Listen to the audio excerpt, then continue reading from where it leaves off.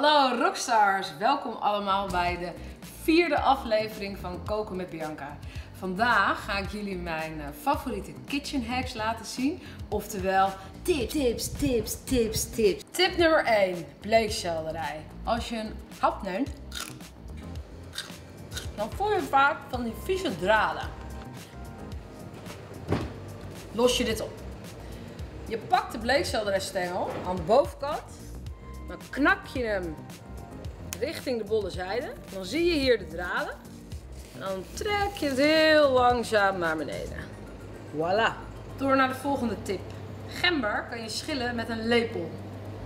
Je pakt hem bij de kant, bolle kant.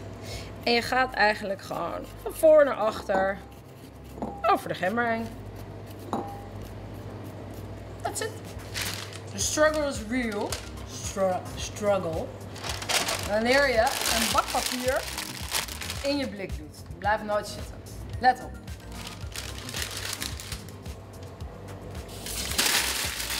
Je maakt je papiertje helemaal nat. Knijp hem gewoon zodat hij helemaal nat is. Knijp je hem even uit.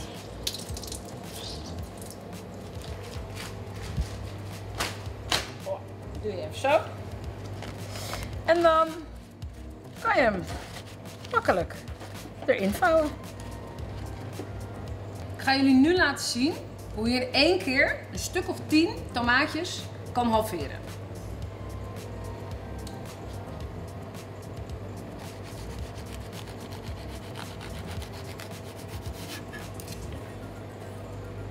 Voilà. Je legt alleen je hand erop, snijdt ze door midden. That's it. 3, 2, deze tip vindt mijn vriend de beste die er is. Hij doet er alleen niks mee, want hij kookt nooit. Hoe pel je snel een ui? Je snijdt het kopje en het kontje eraf en dan halveer je hem.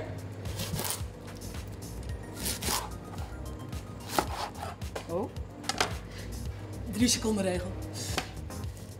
Vervolgens pak je niet alleen het velletje, maar ook de schil die daarna komt. Dus niet alleen dit, maar ook dit. En dan trek je in één keer hop, de schilder vanaf.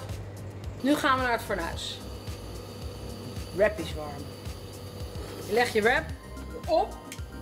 3, 2, 1. 3, 2, 1. En dan draai je hem op. Je ziet al dat hij hier mooi gekleurd is. Dan gaat hij op een gegeven moment Kijk maar cameraman, dan bolt hij licht op. Ja. Stel je hebt limoensap nodig. Dan is toch altijd wel een karweitje om sap uit die limoen te krijgen. De tip. Leg hem op je aardigblad. Hand erop. Full force rollen. Gewoon lekker even 10 seconden keihard rollen. Dan is hij een beetje gummy. Snij je hem door midden. Het makkelijk uit. Avocado's. Hoe haal je de steen eruit zonder dat je naar de eerste hulp hoeft? Snijd hem door midden. Prachtig mooi. knijp je heel licht. Oh, komt hij er zo uit. Je hebt je eitje in een kommetje gedaan. En dan zit er een schilletje in. Nou, met je vinger krijg je die er eigenlijk nooit uit. Vloept die altijd weg. Wat doe je dan? Je pakt gewoon je ijsschaal. Met ijsschaal haal je het schaaltje in het ei. Haal je zo eruit. Stel, je krijgt je potje toch niet open, ondanks je spierballen. Pak je een mes, waar een eh, puntje hier aan de onderkant zit.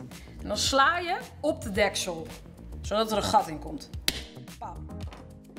Komt de lucht eruit.